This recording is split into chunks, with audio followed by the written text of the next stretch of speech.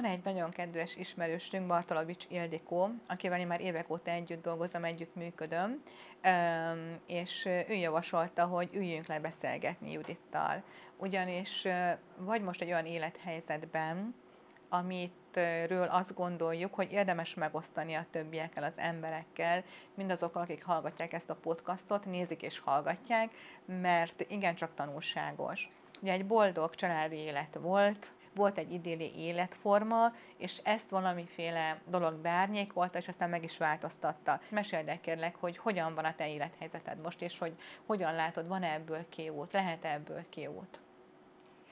Az élethelyzetemmel kapcsolatosan azt tudom mondani, hogy ugye ahogy, ahogy telnek az évek, változnak az emberek, változik a személyiségük, változik az életkörülményük, egyszer fent, egyszer lent, jóban, rosszban együtt, és azt vettem észre a családi életemben, hogy amíg rosszabb időket éltünk, jobban összetartottunk, boldogabbak voltunk, együtt közösen oldottunk meg problémákat, egy csónakba elvesztünk, amikor jöttek a jobb idők, akkor pedig ez teljes mértékben megváltozott. Tehát olyan tekintetben, hogy nem volt meg az a nagy összetartozás érzés, nem volt meg az a holtamiglan, holtadiglan együtt, jóban, rosszban, egészségben, betegségben, hanem egy kicsit a, az értékek elcsúsztak, egy kicsit mindenkinek más lett a fontos, nekem a család és a gyermek. De ez eddig is így volt, azt gondolom. Igen. Ugye, hát akkor te maradtál a saját értékrendednél, és akkor a párod, a férjed, ő az, aki a jó módban egy kicsikét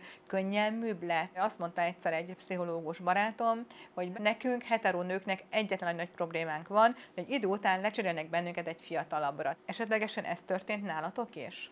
Igen. Tehát nálunk is ugyanez történt.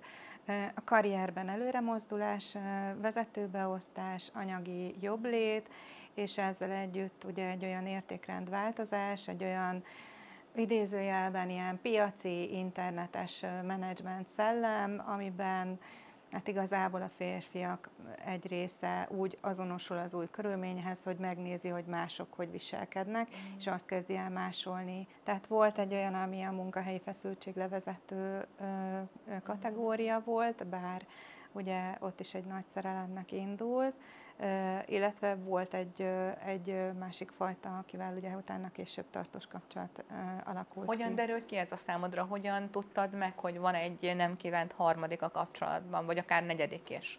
Hát őszintén belettem vonva, és ez rosszabb volt, tehát fájdalmasabb volt. Tehát, hogy ő úgy gondolta, hogy azzal csillapítja a lelkiismeretét, ha volt neki ilyen, hogy megosztotta veled ezt a terhet, és úgy rátette, hogy akkor fogadd el, hogy nekem bizony van egy fiatal szeretőm, azért, hogy levezessem a munkahelyi feszültségemet, Igen. és ezt szerint ez így normális volt?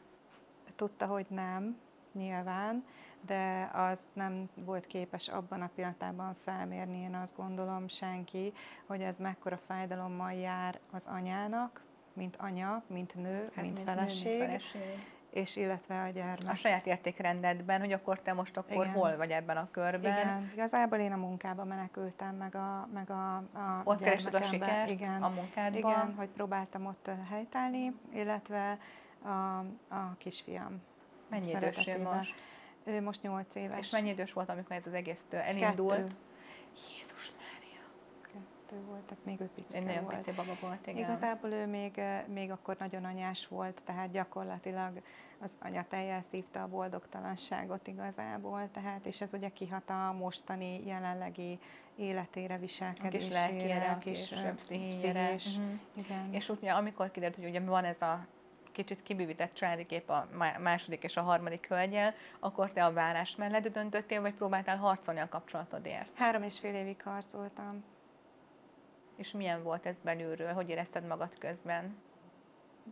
Borzasztóan rosszul. Tehát, hogy egyrészt megromlott a bizalom, az az idilli környezet, a szeretet, ami összetartotta, de hát ugye legfőképp a bizalom. Tehát azt gondolom, hogyha egy kapcsolatban ugye megbomlik a bizalom, azt nagyon-nagyon vissza lehet biztosan állítani, de nagyon-nagyon sok munka kitartás. Mindig ott van az a kis lebegtetés, igen, tehát annyira már nem tudsz bízni, mint ahogy igen, előtte bíztál. Hát illetve mind a kettőnek akarni kell. Tehát, hogy én láttam kapcsolatokat ö, ö, megmenekülni ilyen helyzetekből, de ahhoz mind a kettőnek ö, kellett akarni, illetve közösen kellett szeretni a közös gyermeket egyformán. Meg ugye a másikat, tehát a párnak, és ugye nyilván Igen. a férfinak a nőt, a nőnek a férfit, Igen. és plusz ugye a közös gyermeket, aki miatt nagyon sokszor ugye együtt Igen. is maradnak a családok. Nem tudom, hogy ez most mennyire jó vagy rossz, hogy a gyermek az mi összetart, de hogy nyilván kell valamiféle erő, ami segít átbillenteni ezen a nehézségen. Nálatok sikerült ezt így kidolgozni, a kapcsolatot sikerült megmenteni? Nem sikerült megmenteni a kapcsolatot végül. Mi lett a három és fél év végén? Vállás, mi volt a döntés? Vállás. Te akartad a, a vállást? Én beleegyeztem a vállásba, én, én az elején nem szerettem volna válni, mentettem a kapcsolatot utána. Én szerettem volna válni, akkor a, a volt férjem nem szeretett volna válni, utána pedig felajánlotta, hogy neki ez így nem megy váljunk el, és akkor én már azonnal igent mondtam, mert előtte történtek olyan események, ami engem megrémített, tehát olyan információt jutottak a birtokomba, ami engem megijesztett, és úgy gondoltam, hogy aki kiteszi a családját egy ilyen fajta traumának, nem szabad együtt maradni. Mi történt, amennyit így el tudsz nekünk mondani, nyilván itt, itt vannak a kamerák, mik voltak ezek a stációk, amiket végigmentél Judit? Hát mindenféleképpen felkerestem gyerek, gyermekpszichológust. És Ugye a gyerekedre gondoltál itt is elsősorban akkor. Igen, igen, hogy az ő szemszögéből mit javasolnak. Hát többféle választ hallottam, de a legtapasztaltabbnak a mindenkinek igaza volt. Tehát, hogy igazság, igazság szerint az érmének tényleg két oldala van, honnan nézzük a problémát, és mindenben van igazság de ugye minden szituáció más, és azt kellett ilyenkor eldöntenem, hogy kinek az igazsága az, amivel én azonosulni tudok. Hát a te magad igazsága. És az én magam igazsága. Megtaláltam, igen, és az a mindenképpen a vállás mellett hiszen a gyermek, hogyha benne marad egy ilyen kapcsolatba, akkor, akkor másol, és ezt fogja tanulni, ezt fogja tovább hát, a példamutatás, ami lehet rossz, vagy lehet jó. A példamutatás lehet jó, vagy rossz, igen.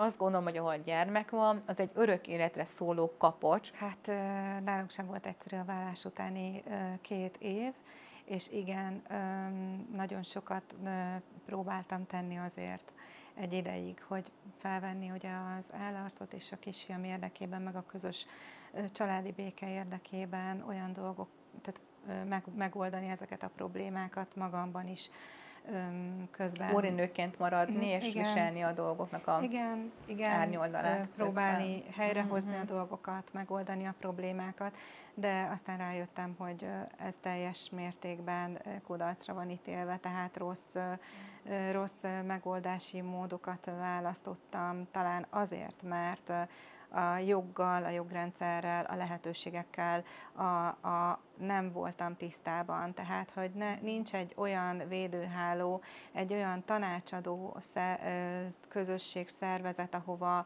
ha én elmegyek egy adott problémával, ahol komolyan vesznek, ahol elhiszik, amit mondok, ahol megkapom a szükséges információt, a szükséges tájékoztatást, és elkerülöm azokat az esetleges hibákat, ballépéseket, amiket a, a tudatlanságomból idézőjelben hát, Meg kellene, hogy tudjál róla. Tehát nyilván azt gondolom laikusként, hogy van egy ügyvédje az ember lányának, ráadásul ugye nálatok nem csak a gyermek, hanem volt egy közös vagyon is, volt egy elért egzisztencia, tehát hogy nem csak a gyermek okán kellett akkor békésen megegyezni, hanem akkor nyilván akkor a, a, az anyagi javakat is el kellett volna tudni osztani.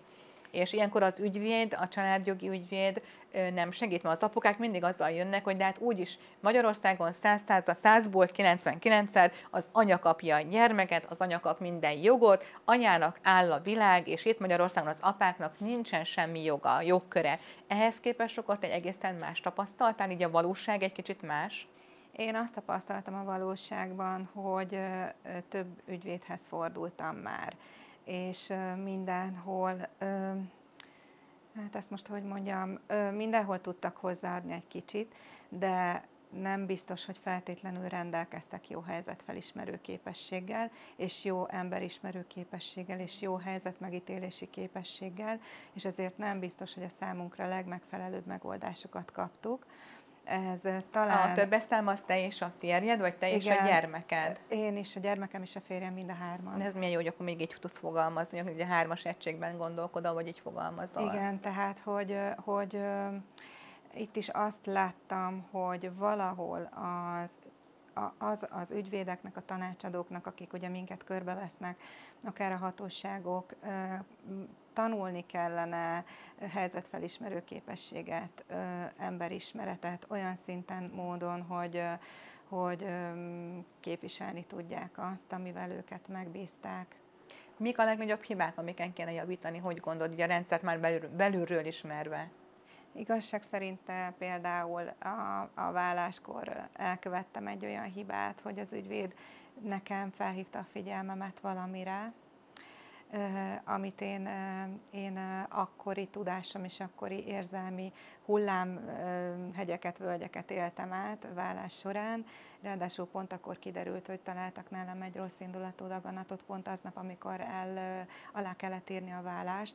Tehát nem voltam feltétlenül teljesen olyan tudatállapotban, hogy fel tudjam mérni, hogy... Egy csapás-csapás után. Csapás-csapás után, igen, és akkor volt egy intés az ügyvédnőnek, amit én akkor nem vettem komolyan, mert bíztam abban, hogy értelmes felnőtt diplomás emberek, egzisztenciával rendelkező emberek nem kerülhetnek olyan helyzetben, amit az ügyvédnő felvázolt, hogy van veszélye.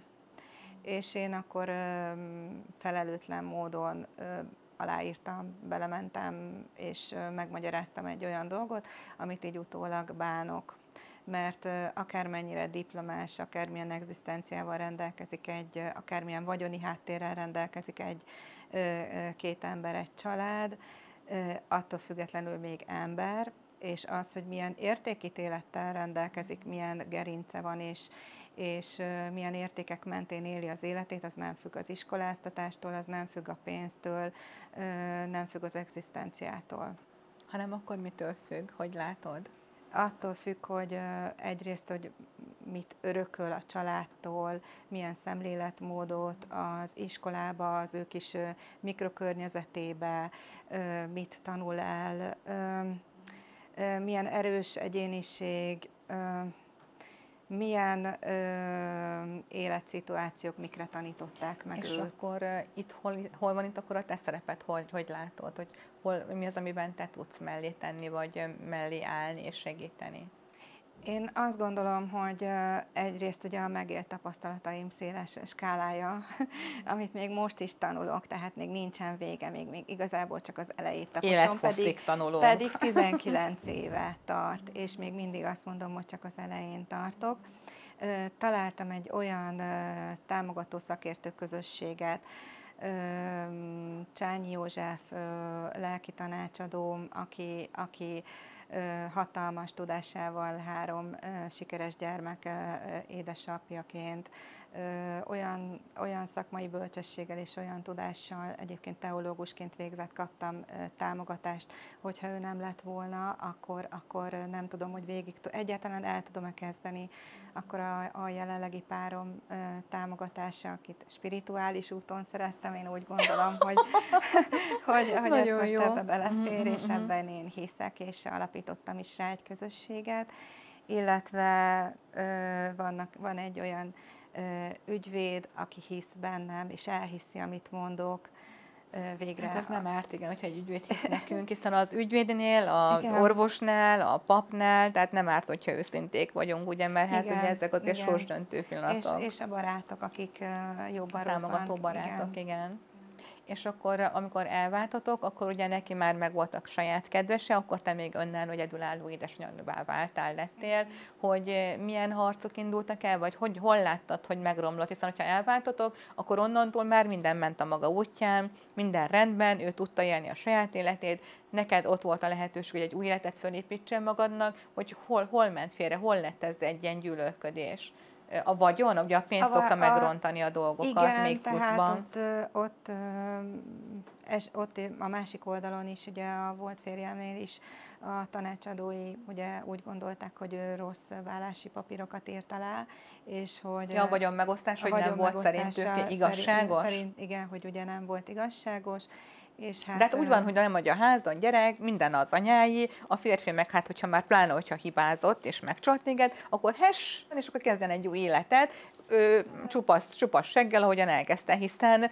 ő miatta bomlott fel ez a fantasztikus családi van, egység, nem így van? szerint ez nem számít, hogy ki a vétkes, tehát itt a vétkességre De ha a becsület is ezt mondja egy férfinál, nem? Hogy volt egy, van egy feleségem, van egy gyermekem, a gyermekemet nem akarom rosszabb élethelyzetbe hozni az saját hibám okán, hanem akkor én szépen megyek, és akkor egy új életet, hiszen fiatal vagyok, erős vagyok, megtehetem, pláne, hogyha van egy ilyen jobb gazdasági helyzet, hogy akkor egy új életet én fölépítek magamnak, de a gyermekemet nem károsítom. Igen, ez egy darabig működő, működik. Ez egy ilyen illúzió, ez egy ilyen, Működött, Ja, igen, értem. És akkor onnantól, tehát hogy attól fogva, amikor egy nő megpróbál a saját lábára állni, önállóan sikeres lenni, Húha, tehát hogy figyelt téged, és aztán elkezdett irigyelni? Nem gondolom, hogy irítség, inkább csak Akkor mit, mitől fordult ellened? Gazdasági aggodalom, hogy esetleg azt, amit ugye mi közösen építettünk fel, azt én esetleg majd egy, egy következő kapcsolatomban fogom kamatoztatni. Én ezt gondolom, Hát akkor az az irigység. ö, akár lehet így is Vagy hát vagy rossz indulat irítség, hogy, hogy akkor a... Na de hát amikor te őt elengedted az új hölgyel, az új nővel, akkor te is beláttad azt, hogy nincs miért harcolni. Onnantól, hogy ha már ennek a kapcsolatnak vége van, és le van zárva ügyvédileg, jogilag, akkor miért nem hagyta, hogy te is éld és építsd a saját életedet?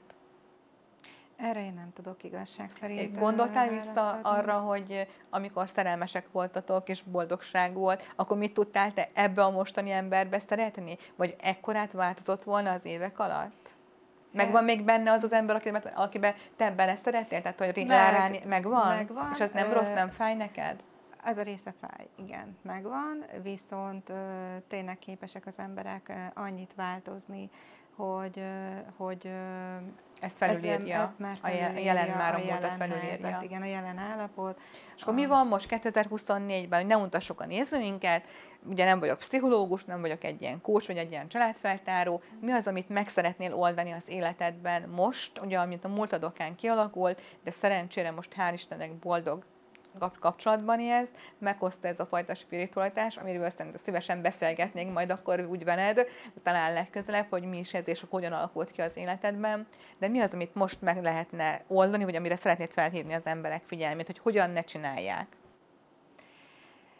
Ö, igen, van egy-két fontos dolog. Tehát, hogyha valami nem működik egy, egy kapcsolatban, vagy bárkit olyan sérelem, bántás ér, amit úgy gondol, hogy jogi következményei vannak, és nem teszi meg a szükséges lépéseket, akkor később már ezt nem fogja tudni megtenni, vagy nagyon nehezen fogja tudni megtenni. Tehát amit én megtanultam a 19 év alatt, hogy meg kell tanulnunk megvédeni magunkat bármi áron, pláne hogyha kisgyermek van a családban, mert hogyha én nem tudom magam megvédeni, akkor a, a, a gyermekem hogyan érezheti magát biztonságban, hogy a szülő meg tudja védeni őt, amikor még saját magát sem tudja megvédeni. Milyen, mit, mitől kell megvédeni? Tehát most úgy érzem, vagy, tehát, vagy úgy sejtem, úgy érzem, hogy ez fizikai bántalmazás volt? Ki, ki, ki szabad ezt így mondani? Hát vagy a- rosszul érzem? Adott esetben, ö, adott esetben egy, egy, ö, egy ö, akár nőket vagy férfiakat nézünk, tehát mind a két esetben fordulhatnak elő olyan élethelyzetek, amikor elveszti, a, elveszti az egyik a kontrollt, a, a, a problémák súlya az e, ad, adott Persze, hát életproblémák hogyne. kapcsán. Én már hoztam föl férjet, tehát tudom, hogy mit jelent. úgyhogy, úgyhogy történnek ilyen dolgok. Ezek mellett nem, úgy gondolom most már így utólag, hogy nem szabad elmenni, sőt hiba elmenni.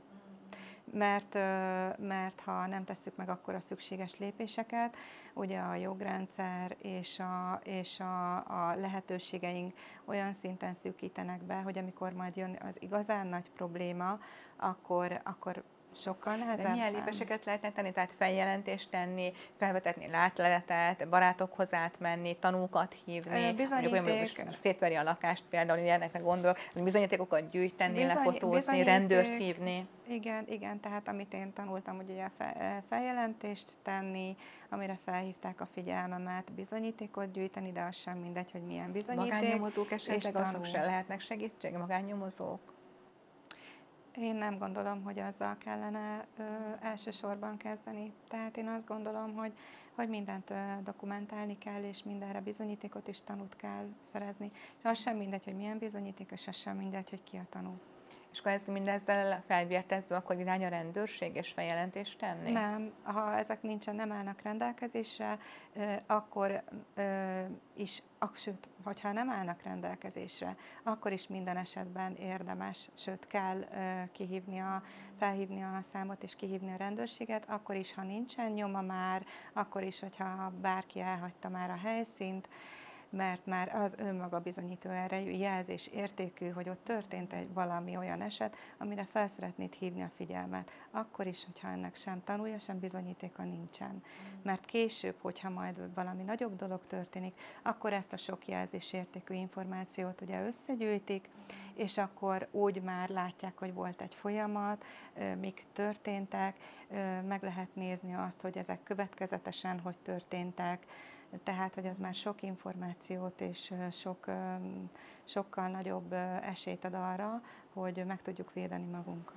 Akkor kell egyfajta tudatosság és kitartás. Igen, igen, meg önbizalom.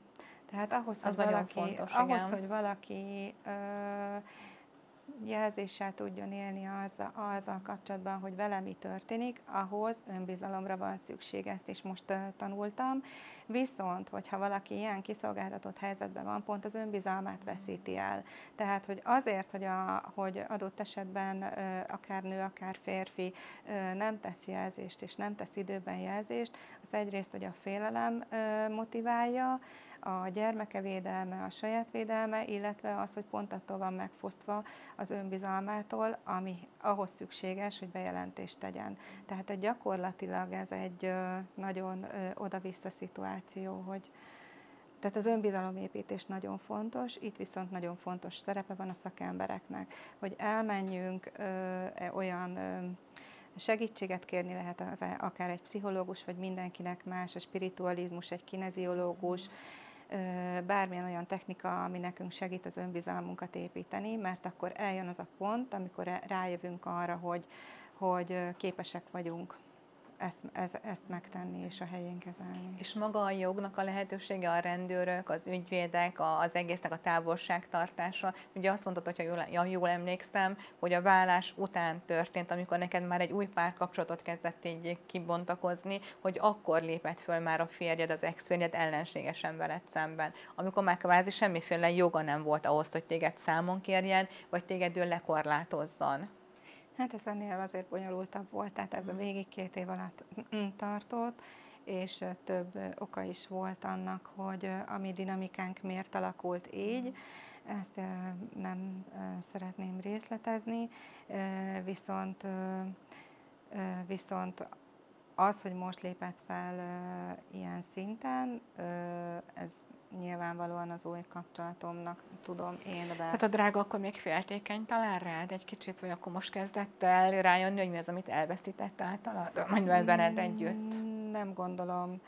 Én azt gondolom, hogy ő azért annál sokkal ö, tudatosabb. Ö, De akkor most mi az, ami zavarhatja, hogy valaki beül mondjuk abban a házban, amit ő épített veled, ennyire ö, materiális inkább, dolgok? Inkább materiális dolgok, mint érzelmi dolgok. De akkor az új igen. párodnak nincsen meg ez a fajta gazdasági háttere, ami számodra, saját maga számára, a gyermeknek, ugye a közös, a férjedek közös gyermeknek egyfajta biztonságot nyújtson. Hát akkor Hm, meg, akkor megvan. nyilván nem egy ilyen kakuktojást akkor oda letenni hozzád. Ez ilyen, szempont, ilyen esetekben nem számít. Tehát ez már nem észérv. Ez már nem észérv. És akkor mit lehet ilyenkor tenni? Amit összegyűjteni, följelenteni, információkat gyűjteni, nyomokat hagyni a jognál, a rendőrségnél, a barátoknál, tanúkat gyűjteni, de hol lesz ennek a vége? Vagy te hogyan látod ennek a megoldását?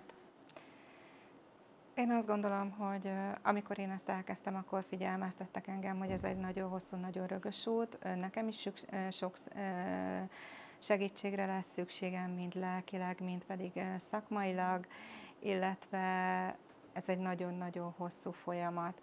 Én bízom abban, és minden erőmmel azon vagyok, hogy egy célom van a kisfiamnak a megvédése, és a kisfiamnak a, az életének a helyretétele, amiben nagy felelősségemet és súlyomat érzem. Láttam, hogy a kisfiam milyen nehezen éli meg ezt a szituációt, és a kisfiam fordult hozzám segítségért. A kisfiam nagyon bőszókincsel rendelkezik, úgyhogy ő gyakorlatilag segítséget kért, hogy most már tegyek valamit, és védjem őt meg, mert nem Az édesapjától? Hát ettől az egész szituációtól, mert hogy ő már ne, ő attól fél, hogy valami baja esik, és nem érzi magát biztonságban és elmentem egy, nem tudom, ki lehet mondani. Itt bármit, ez egy podcast, itt bármit ki lehet mondani, Judit. Szépen válják központba, aki, Igen. aki a vállásunkat intézte, és ismerte a körülményeinket, és tőlük kértem segítséget. És, és tudtak ők segíteni a szépen válják központban? Igen, tehát azonnali segítséget kaptam tőlük, mind elmondták a folyamatokat, családjogi ügyvédet javasoltak, aki keresett olyan szakember embereket még az ügyvédi körben, aki a mi esetünkben még kompetens lehet, akkor megkerestük a, a, a tehát hogy a gyámhatóságra azonnal kapcsolatot kaptam, és lelki tanácsadót is javasoltak, hogyha szükségem volt rá, tehát egy komplexen tudták kezelni a helyzetet, és először fordultam, tehát hogy először fordult elő velem az, hogy komolyan vettek, hittek nekem, és mindent megmozgattak, hogy, hogy a segítségemre legyenek, és gyorsan akkor benne van a nevükben, hogy szépen válj el, akkor tőlük kapta meg azt a fajta támogatás, hátteret, biztonságot, Igen. amit gyakorlatilag előttük, tehát amíg őket nem ismert, addig nem volt meg ez a fajta biztonság. Igen. De van egy ilyen név, hát a név kötelez szépen válj el, Igen. velük akkor lehet szépen elválni mindent megtesznek azért. Minden helyzet más, de mindenre van megoldásuk. Nagyon sok tapasztalattal rendelkeznek olyan területen, amivel én is küzdöttem, és, és azt gondolom, hogy indulónak mindenféleképpen nagyon jó volt, de azt is tudni kell, hogy ezt mindenkinek egyénileg kell végigjárni. Tehát kitartással nem feladni, hinni magunkban, visszanyerni az önbizalmunkat. Senki helyettünk semmit nem fog tudni kijárni, senki helyettünk semmit nem fog tudni úgy igazán hitelesen képviselni, akár egy ügyvéd, akár egy, egy bármilyen jogi szakember, mint mi saját magunk. Tehát hinni kell önmagunkban. Hinni kell önmagunkban, nem szabad feladni, és folyamatosan nyomon kell követni az eseményeket. Nem szabad, hogy egy pillanatig is elhanyagoljuk a, az ügyünket, és, és letérjünk az útról mindezt így összefoglalva, Judit, hogy kitartás kell hozzá, keresni kell a megoldást, a megoldásban segítő társokat, barátokat, partnereket, és Igen. akár az univerzum, akár a jó sors, miben hisz, vagy a jó Isten, de meghozza akkor azt a fajta döntést, ami segít bennünket a további útunkon. Így van. Köszönöm a beszélgetést, Judit, hogy eljöttél hozzánk. Köszönöm. Lin mindennapjait a Csángó és Rinaldi ékszerei varázsolják ragyogóvá. Az Értékteremtők Podcast és az egészségtudatos életmód elkötelezett támogatója az EF5 energiaital.